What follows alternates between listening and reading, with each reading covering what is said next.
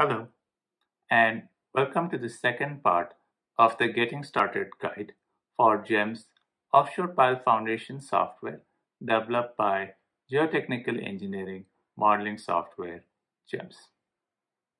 Piles are used to provide foundation support to wide-ranging structures such as buildings, bridges, wharves, jetties, towers, and offshore structures such as oil platforms, and offshore wind turbines.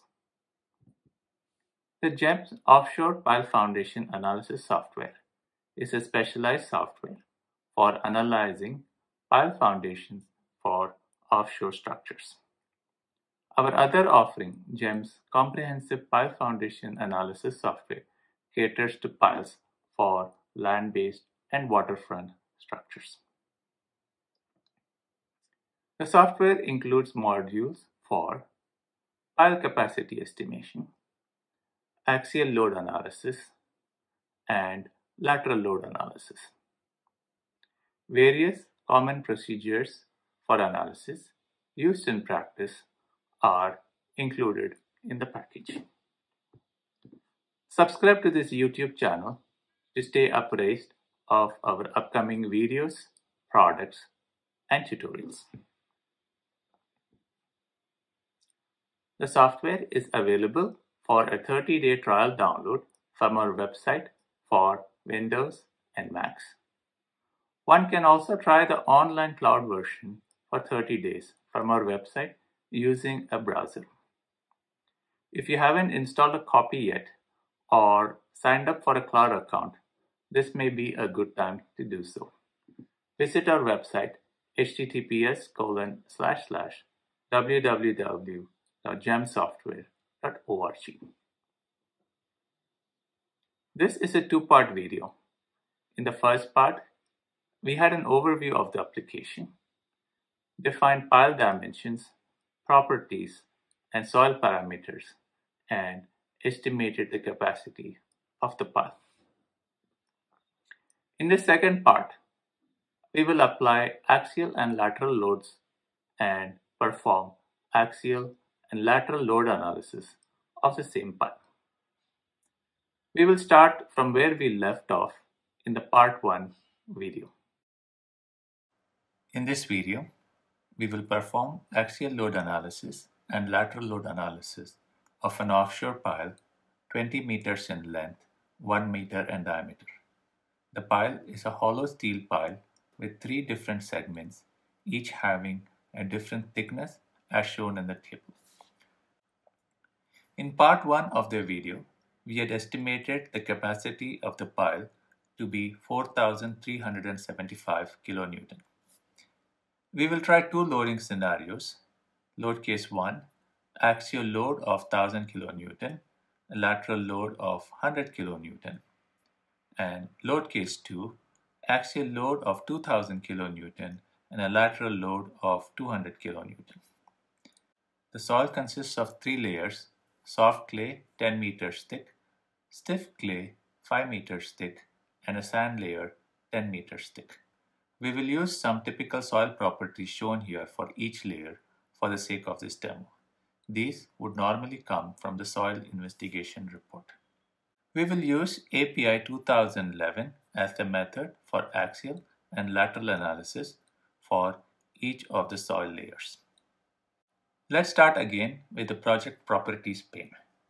We will edit the description to add details for the loading scenarios for our record.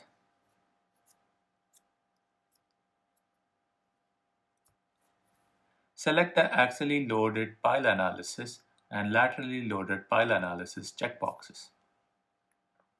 Set the number of load cases to 2 as we are evaluating two loading scenarios. Click on the Input Parameters pane. We had set the pile dimensions earlier. Since the pile supports a superstructure, the pile head is not free to rotate. In the Pile Properties tab, Pile Head Boundary Condition, select Rotation and enter the value 0 in front of it.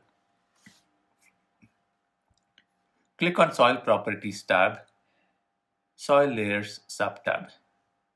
We will review and update the soil properties again since we have enabled axial and lateral analysis. Some additional parameters may be required. First layer, soft clay. We had set the TZ and QZ, the analysis method for pile capacity estimation and axial load analysis as API 2011. We will keep the PY code, the analysis method used for lateral load analysis as API 2011. We had set the cohesion on the top and cohesion at the bottom as part of the pile capacity estimation and we'll leave J constant as 0.5, epsilon 50 as 0.01 and R factor as 0.9. Stiff clay. We had set the TZ and QZ code, the analysis method used for pile capacity estimation and axial load analysis as API 2011. We will keep the PY code, the analysis method used for lateral load analysis as API 2011.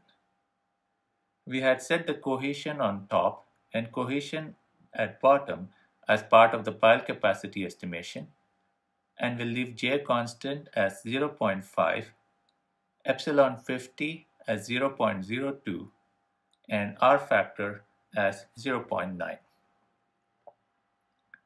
Sand layer. We had set the TZ and QZ code as API 2011. We will keep the PY code also as API 2011. Set the friction angle phi used for lateral analysis as 30 degrees. Finally, click on the Load Cases tab. You will see two subtabs on the right hand side, Load Case 1, Load Case 2, which have been added. We will enter the load case data in the respective tabs. Load case 1. Load case description. Axial load of 1000 kilonewton. Lateral load of 100 kilonewton. You can choose to include self-weight in the axial analysis if you wish by clicking on this checkbox. We'll set the axial load as 1000 kilonewton and lateral load of 100 kilonewton. Since our pile head is not free to rotate, we will not prescribe a lateral moment. The bending moment at the pile head will be calculated by the program. Our loading type will be static loading. You will see the loading diagram has been updated with the details we have entered. Let's similarly put the data for load case 2. Load case description axial load of 2000 kilonewton, lateral load of 200 kilonewton. Axial load 2000 kilonewton, lateral load 200 kilonewton. Set the loading type as cyclic loading for this demo. Let us see if our inputs are valid and there are no errors in them. From the menu bar, click on Compute, Validate we see that our inputs are valid. We have entered all the required information for getting our pile capacity, axially loaded pile analysis, and laterally loaded pile analysis. Now let's click Compute, Compute.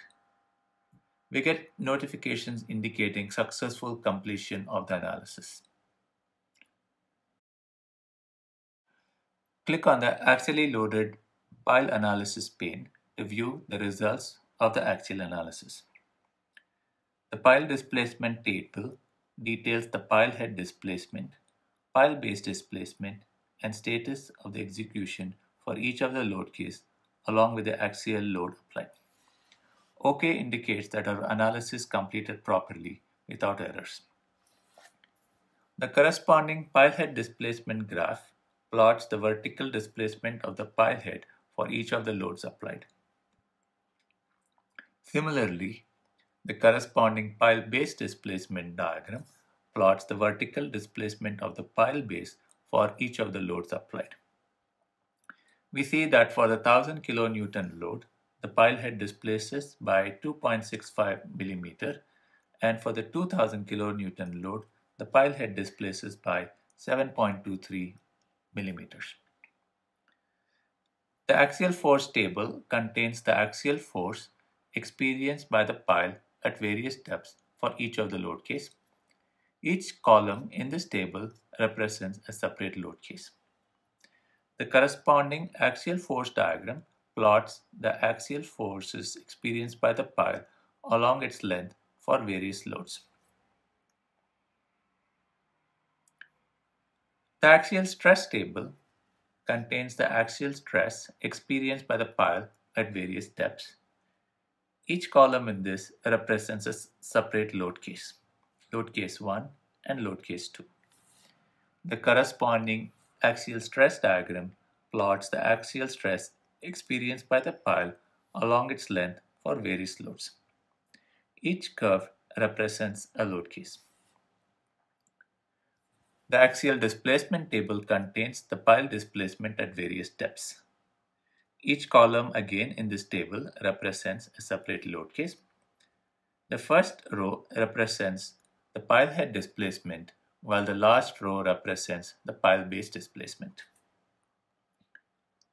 Axial displacement diagram plots the axial displacement of the pile along its length for various loads. Again, each curve represents a load case. One can also perform just the axial load analysis by clicking on the Compute Axial Analysis at the top of this pane. Click on the Laterally Loaded Pile Analysis pane to view the results of the lateral analysis. Laterally loaded pile analysis pane consists of multiple load case tabs displaying the analysis for the corresponding load cases. Each load case analysis tab consists of tables and graphs tabulating the analysis results for the load case. The summary table tabulates the absolute maximum values of lateral deflection, bending moment, shear force, and soil pressure and the depths at which they occur. For the first load case, we have a maximum lateral deflection of 3.7 mm, bending moment of 523 kilonewton meter, shear force of 100 kilonewton at the pile head, and a maximum soil pressure of 19.6 kilonewton per meter at a depth of 10.57 meters. Next, we have the displacement, slope, and pressure table, which contains the lateral displacement, slope, and soil pressure experienced by the pile at various steps. The shear bending moment table contains the shear forces and bending moment experienced by the pile at various steps. Each point represents a node in the finite element analysis. Lateral pile analysis diagram plots the contents of the analysis tables. Lateral deflection diagram plots the horizontal deflection of the pile at various depths. Shear force diagram plots the shear force along the length of the pile. Bending moment graph plots the bending moment experienced by the pile at various depths and soil pressure diagram plots the soil pressure along the length of the pile. Similarly, we have the results for the second load case.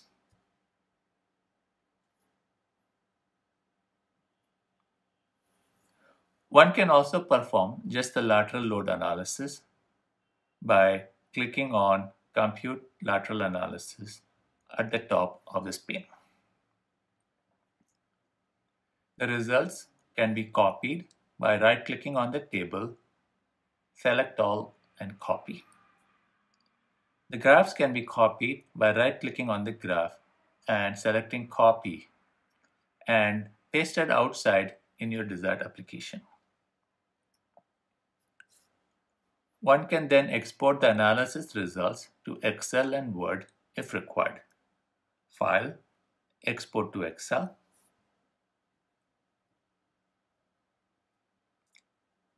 And File, Export to Word.